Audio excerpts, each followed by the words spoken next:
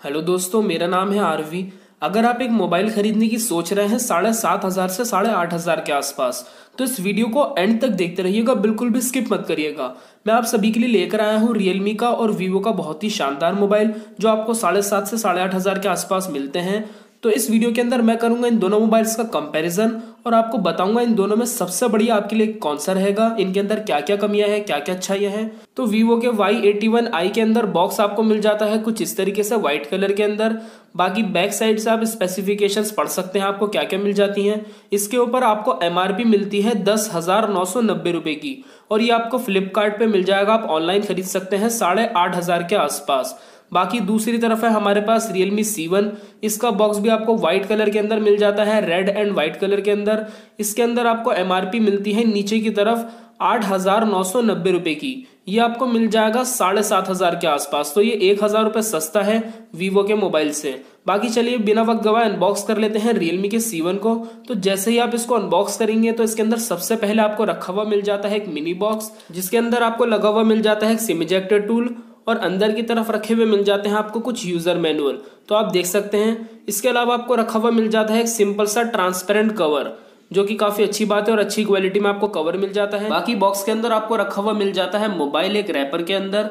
इसका detail look अभी देखेंगे, इससे पहले देख लेते हैं बॉक्स के अंदर आपको और क्या क्या मिल जाता है। तो इस मोबाइल के अंदर आपको रखा हुआ मिल जाता है बॉक्स के अंदर एक चार्जर तो बॉक्स के अंदर जो आपको चार्जर मिल जाता है काफ़ी बड़ा, लेकिन इसके अंदर आपको आउटपुट मिलता है स्पेसिफिकेशंस आप पढ़ सकते हैं फाइव वॉट वन एम्पियर का। तो एक फास्ट चार्जर आपको इस मोबाइल के साथ नहीं मिलता है, बाकी चार्जर की क्वालिटी काफ़ी अच्छी है, इस तरफ़ आपको ओप्पो की ब्रांडिंग मिल जाती है। इसके अलावा बॉक्स के अंदर देख लेते हैं, आपको एक रखी हुई मिल जाती है डेटा केबल डेटा केबल की लेंथ भी काफ़ी अच्छी है और इसकी क्वालिटी भी काफ़ी अच्छी है, थिकनेस काफ़ी अच्छी है और इसके अंदर आपको USB to micro USB cable मिलती है। टाइप सी केबल इस मोबाइल के साथ आपको नहीं मिलती है। चलिए अब अनबॉक्स कर लेते हैं Vivo Y eighty one i को। तो जैसे ही आप इसको अनबॉक्स करेंगे, इसके अंदर भी सबसे पहले आपको रखा हुआ मिल जाता है एक मिनी बॉक्स जिसके अंदर आपको वीवो लिखा हुआ मिल जाता है फ्रंट साइड पर और अंदर की तरफ़ रखे हुए मिल जाते हैं आपको कुछ यूज़र मैनुअल और इस मोबाइल के अंदर भी आपको मिल जाता है एक सिंपल सा ट्रांसपेरेंट कवर। तो दोनों मोबाइल्स के साथ आपको कवर मिल जाता है। बाकी इसके अलावा इसके अंदर आपको रखा हुआ मिल जाता है ऊपर की तरफ़ एक मोबाइल। इसके अंदर आपको रैपर में मोबाइल मिल जाता है। डिटेल लुक अभी देखेंगे, इससे पहले देख लेते हैं बॉक्स के अंदर आपको इस मोबाइल में और क्या क्या मिलता है। तो एक लगा हुआ मिल जाता है आपको सिम इजेक्टर टूल इस तरीके से कार्ड के अंदर। और इस मोबाइल के अंदर आपको रखा हुआ मिल जाता है अंदर की तरफ़ एक डेटा केबल। तो डेटा केबल की क्वालिटीज़ की मैं आपको दिखा देता हूँ, आपको नॉर्मल मिल जाती है और इसकी लेंथ भी काफ़ी अच्छी है रियलमी सी की तरह। बाकी इसके अंदर भी आपको U USB to micro U USB cable ही मिलती है। टाइप सी केबल इस मोबाइल के साथ भी आपको नहीं मिलती है। तो दोनों मोबाइल्स के अंदर आपको टाइप सी केबल नहीं मिलती है, ये छोटी सी कमी है इन दोनों मोबाइल्स के अंदर। बाकी एक रखा हुआ मिल जाता है आपको, ये बड़ा सा चार्जर स्पेसिफिकेशन आप पढ़ सकते हैं, इसके अंदर आपको मिल जाता है output five watt one ampere का ही. तो फास्ट चार्जर आपको इन दोनों ही मोबाइल्स के साथ नहीं मिलता है. बाकी इसका जो वेट है वो थोड़ा लाइट लग रहा है रियलमी के चार्जर से तो उसकी क्वालिटी ज़्यादा बेटर लग रही थी इस चार्जर से. चलिए अब बात कर लेते हैं सबसे मेन चीज़ मोबाइल के डिज़ाइन के बारे में। तो ये दोनों ही मोबाइल्स आपको मिलते हैं बहुत ही ज़्यादा ग्लॉसी लुक के अंदर। आपको मिरर टाइप का बिल्कुल शीशे की तरीके से लुक मिल जाता है रियलमी सीवन के अंदर बैक साइड पर और उसी तरीके से आपको देखने को मिल जाता है वीवो के अंदर भी डिज़ाइन रियलमी सी वन का जो बैक पैनल है वो आपको थोड़ा ग्लासी मिल जाता है, बिल्कुल शीशे की तरीके से लुक देता है। और आपको वीवो के अंदर जो बैक पैनल मिलता है, वो थोड़ा प्लास्टिक लुक के अंदर आपको देखने को मिल जाता है। तो ज़्यादा मिरर टाइप का लुक आपको मिल जाता है रियलमी सी सीवन के अंदर। बाकी आप देख सकते हैं, दोनों ही मोबाइल्स के अंदर आपको बैक साइड से कुछ इस तरीके से डिज़ाइन देखने को मिल जाता है।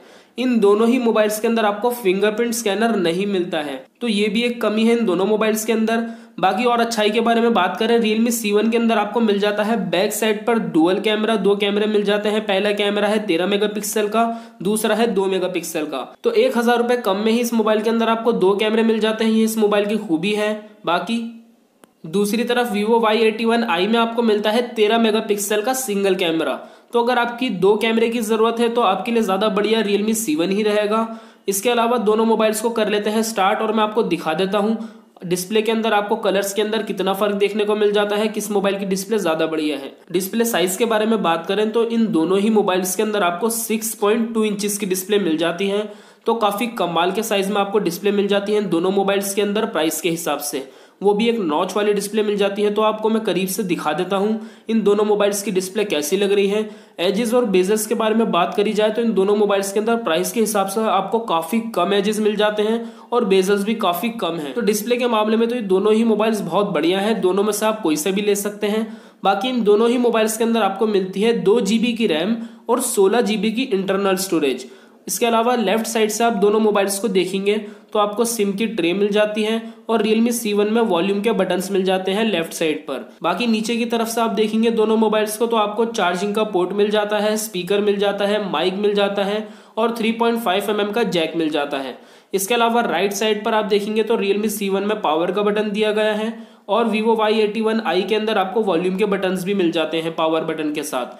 इसके अलावा ऊपर की तरफ़ आपको कुछ देखने को नहीं मिलता इन दोनों मोबाइल्स के अंदर। बैक साइड से देख सकते हैं आप कंप्लीट डिज़ाइन इन दोनों मोबाइल्स का कैसा लग रहा है। इन दोनों ही मोबाइल्स के अंदर आप दो सिम कार्ड एक मेमोरी कार्ड तीन चीज़ें एक साथ लगा सकते हैं।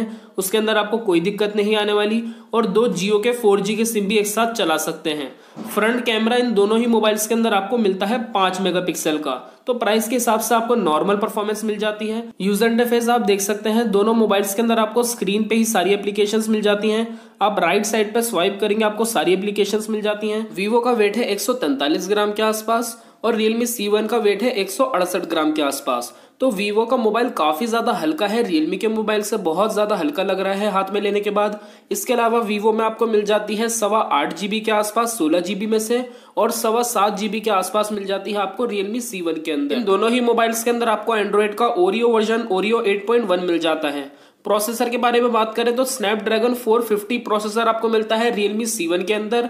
और मीडिया टेक का ए ट्वेंटी टू प्रोसेसर आपको मिलता है वीवो के अंदर। बैटरी के बारे में बात करें तो बत्तीस सौ साठ एमएच की बैटरी आपको Vivo Y eighty one i के अंदर मिलती है और बयालीस सौ तीस एमएच की बैटरी आपको मिलती है रियलमी सी वन के अंदर। तो काफ़ी बढ़िया बैटरी आपको रियलमी सी वन के अंदर मिल जाती है वीवो के मोबाइल से। बाकी एक चीज़ और है, मोबाइल जो है, वीवो का काफ़ी ज़्यादा लाइट वेट लग रहा है, बहुत ज़्यादा हल्का और रियलमी का मोबाइल काफ़ी ज़्यादा सॉलिड लग रहा है तो बिल्ड क्वालिटी के हिसाब से ज़्यादा बढ़िया फीलिंग जो आ रही है, वो रियलमी सी के अंदर आ रही है, वीवो के मुकाबले में। चलिए बात कर लेते हैं आपको, इन दोनों मोबाइल्स में कौन सा खरीदना चाहिए, कौन सा नहीं। देखिए प्राइस के अंदर तो हज़ार रुपए का ही फ़र्क है, इन दोनों मोबाइल्स के अंदर ज़्यादा फ़र्क नहीं है। इसके अलावा डिपेंड करता है आपको भरोसा किस ब्रांड के ऊपर ज़्यादा है, आपको रियलमी के ऊपर ज़्यादा भरोसा है, या फिर आपको वीवो के ऊपर ज़्यादा भरोसा है। इसके बाद आपकी मेन ज़रूरत किस चीज़ की है? देखिए, अगर आपकी कैमरे की ज़रूरत है तो आपको डुअल कैमरा रियलमी सी में मिल जाता है, जो कि एक अच्छी बात है, कम प्राइस के अंदर एक हज़ार रुपये कम में ही आपको मिल जाता है तो कैमरे की परफॉर्मेंस ज़्यादा बढ़िया आपको रियलमी सी में मिल जाती है। दूसरी चीज़, अगर आपकी बैटरी की ज़रूरत है तो रियलमी सी के अंदर ही आपको ज़्यादा बढ़िया बैटरी बैकअप मिलता है, क्योंकि इसमें आपको बयालीस से तीस एम की बैटरी मिल जाती है। तीसरा, इसका डिज़ाइन जो है, मुझे ज़्यादा बेटर जो लग रहा है, वो रियलमी सी का लग रहा है। इसके अलावा डिस्प्ले के अंदर, अगर आपकी डिस्प्ले की ज़रूरत है तो दोनों ही मोबाइल्स में आपको काफ़ी अच्छे साइज़ में डिस्प्ले मिल जाती हैं। लेकिन डिस्प्ले के कलर्स थोड़े ज़्यादा बेटर लग रहे हैं वीवो में, और यूज़र इंटरफेस भी थोड़ा ज़्यादा अच्छा लग रहा है रियलमी सी से। बाकी हर एक चीज़ को देखते हुए मुझे रियलमी सी वन ज़्यादा बढ़िया लगा इन दोनों मोबाइल्स के अंदर। अब आप मुझे बताइएगा, आपको कौन सा पसंद आया? ये चीज़ आप मुझे कमेंट सेक्शन के अंदर ज़रूर बताइएगा। वीडियो आपको पसंद आई तो उस वीडियो को ज़रूर लाइक करके जाइएगा। चैनल पर आप नए हैं तो सब्सक्राइब कर लिएगा। उसके साथ बेलाइकन भी दबा दिएगा ताकि नई वीडियोस आप तक पहुँचती रहें। इसके अलावा वीडियो अगर आपको हेल्पफुल लगी तो अपने फ्रेंड्स के साथ शेयर कर दिएगा व्हाट्सएप फेसबुक पे। मिलते हैं नेक्स्ट वीडियो के अंदर किसी नई कंपैरिजन के साथ। तब तक के लिए टेक केयर